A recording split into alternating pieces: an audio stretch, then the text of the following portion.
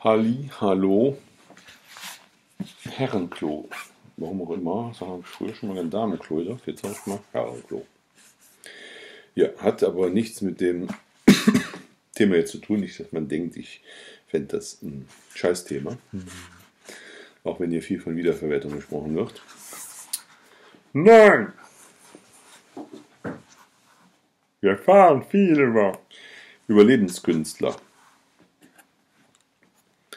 Anders als man bisher annahm, vollzieht sich die Vereinigung nicht wie bei den Bienen während des Hochzeitsfluges, denn im Zeitpunkt dieses Fluges sind die Geschlechtsteile noch nicht reif zur Fortpflanzung. Die Ehe wird erst vollzogen, nachdem das Paar sich gegenseitig die Flügel ausgerissen hat. Ein seltsames Symbol, über das sich manches sagen ließe. Und nachdem es sich im Dunkel des Termitennestes zusammengetan hat, dass es erst im Tode verlassen wird. Die Termitologen sind über die Art, in der diese Ehe sich vollzieht, nicht einig. Filippo Silvestri, eine große Autorität auf diesem Gebiete, behauptet, dass die Begattung sowie die Organe des Königs und der Königin beschaffen sind, physisch unmöglich ist und dass der König sich damit begnügt, die Eier beim Austreten aus dem Eileiter mit seinem Samen zu bestreuen. Nach dem nicht weniger kompetenten Grassi soll die Vereinigung im Nest vor sich gehen und sich periodisch wiederholen. Das Schwärmen. Arbeiter, Soldaten, König und Königin bilden den dauernden und hauptsächlichen Grundstock der Gemeinschaft, die unter einem eisernen Gesetz härter als das Gesetz Spartas ihr habsüchtiges, schmähliches und einförmiges Dasein in der Dunkelheit fristet. Aber neben diesen düsteren Gefangenen, die nie das Licht des Tages erblickten und denen es nie scheinen wird, zieht die raue Gemeinde mit großen Kosten ungezählte Legionen von Jungfrauen und Jünglingen mit langen, durchsichtigen Flügeln und Facettenaugen auf, die sich in der von Blindgeborenen wimmelnden Finsternis darauf vorbereiten, den Strahlen der Tropensonne zu trotzen. Das sind die ausgebildeten Insekten, Männchen und Weibchen, die einzigen, die ein Geschlecht besitzen, aus dem, sollte der stets ungnädige Zufall es zugeben, das königliche Paar hervorgehen wird, das die Zukunft eines neuen Staates sichern soll. Sie verkörpern die Hoffnung, den holden Wahnsinn, die wollüstige Freude eines Totenreichs, das keinen anderen Ausweg zur Liebe und zum Himmel hat. Von den anderen aufgepäppelt, denn sie sind ohne Protozoon und können die Zellulose nicht verdauen, irren sie untätig durch die Galerien und Säle und warten auf die Stunde der Befreiung des Glückes. Endlich gegen Ende des Äquatorialsommers, beim Herannahen der Regenzeit, schlägt diese Stunde.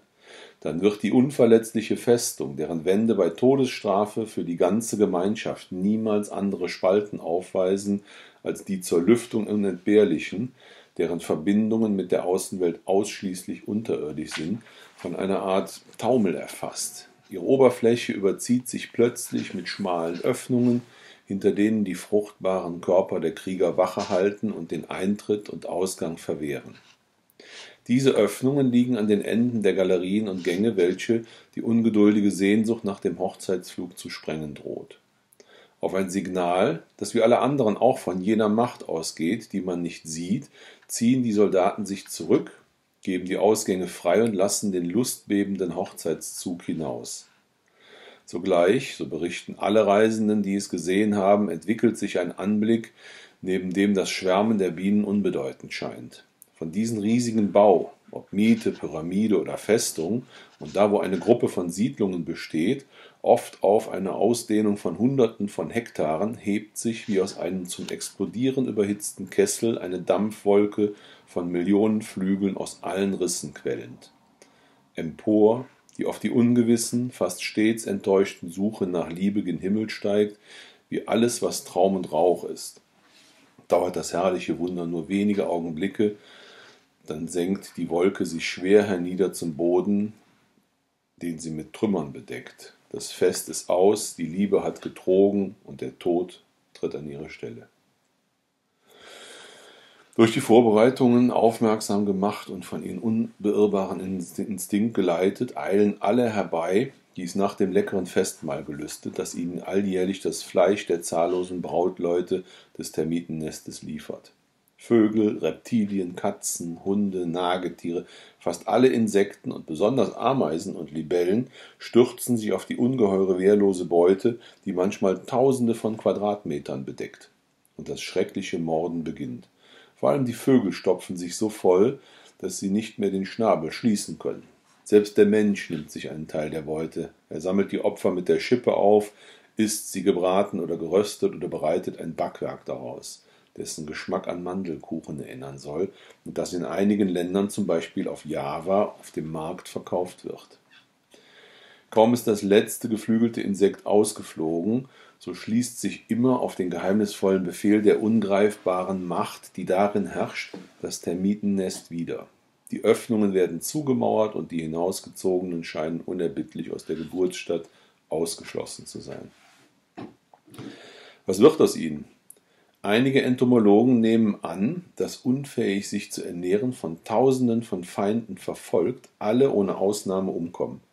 Andere behaupten, dass hier und da ein elendes Paar dem Unheil entgeht und von den Arbeitern und Soldaten einer benachbarten Kolonie als Ersatz für die gestorbene oder erschöpfte Königin aufgenommen wird. Aber wie und durch wen sollte es aufgenommen werden? Die Arbeiter und Soldaten treiben sich nie auf den Wegen umher und treten niemals hinaus in die freie Luft. Und die benachbarten Siedlungen sind ebenso vermauert wie die, welche es verlassen hat. Andere endlich sagen, dass ein Paar ein Jahr lang weiter bestehen kann und sich Soldaten aufzieht, die es verteidigen und Arbeiter, die es ernähren werden. Aber wie lebt dieses Paar bis dahin, da ja bewiesen ist, dass es ein sehr dass es sehr selten Protozoen hat und folglich die Zellulose nicht verdauen kann. Man sieht, wie widerspruchsvoll und dunkel dies alles noch ist. Sicher ist, dass bei einem so geizigen und vorsorglichen und berechnenden Staat in diesen Vorgängen eine unverständliche Verschwendung an Leben, Kraft und Reichtum liegt, die umso rätselhafter ist, als dieses jährliche, alljährliche ungeheure Opfer, das den Göttern derart dargebracht wird, und zwar offenbar zum Zweck der Kreuzbefruchtung, diesen Zweck vollkommen zu verfehlen scheint. Eine Kreuzbefruchtung ist nur möglich, wenn mehrere Termitennester beieinander stehen, was ziemlich selten ist. Und wenn die Hochzeitsflüge an demselben Tage stattfinden, stehen also die Chancen 1000 zu 1, dass ein Paar, dem es durch ein Wunder gelingen sollte, wieder in die Geburtsstadt zurückzukehren, dessen desselben Blutes ist. Wir wollen nicht vermessen sein, wenn diese Dinge uns unlogisch oder sinnlos erscheinen. So kann man getrost damit rechnen, dass unsere Beobachtungen oder Deutungen doch unzureichend sind und der Irrtum bei uns liegt. Denn anders als wir nicht diesen Schnitzer der Natur zur Last legen wollen, die wir auf den ersten Blick so aussieht, als hätte sie noch viele andere Schnitzer gemacht.